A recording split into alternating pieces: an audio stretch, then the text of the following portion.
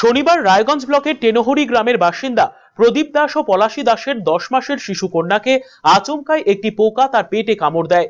শিশুর চিৎকার শুনে মা পলাশী দেবী ছুটে এসে বিষাক্ত পোকাটিকে ধরে ফেলেন। এরপর তিনি তার অসুস্থ হয়ে পড়া শিশু কন্যাকে নিয়ে ছুটে আসেন রায়গঞ্জ গভর্নমেন্ট মেডিকেল কলেজ ও হাসপাতালে।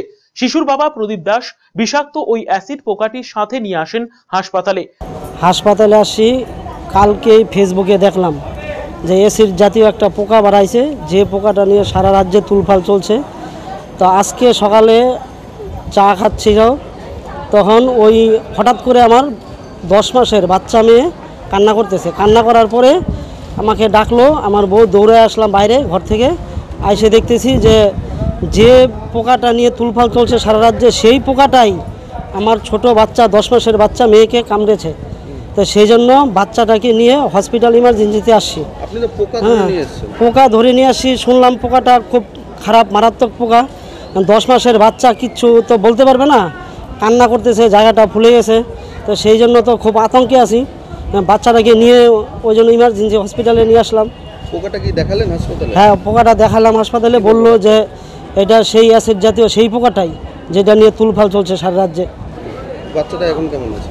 বাচ্চাটা যে জায়গাটা কামড়েছিল খুব ফুলে গেছিল। এখন বর্তমানে একটু কমছে একটু ভালো আছে এখন।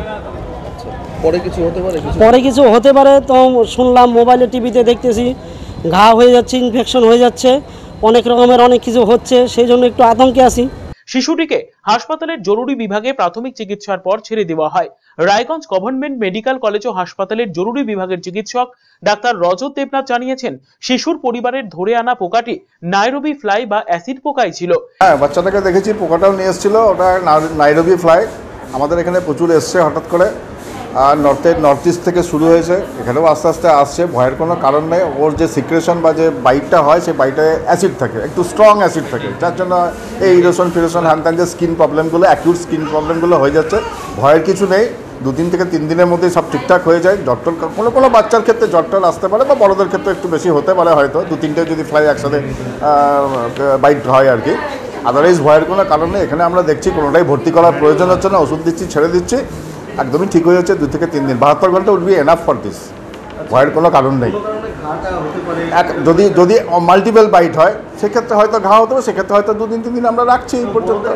বড়দের ক্ষেত্রেও সেই একই একই মাল্টিপল বাইট হলে। যদি সিঙ্গেল বাইট হয়ে থাকে তাহলে ভয়ের কোনো কারণ নেই।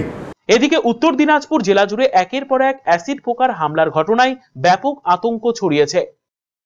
আরসিডিবি সংবাদ রায়গঞ্জ।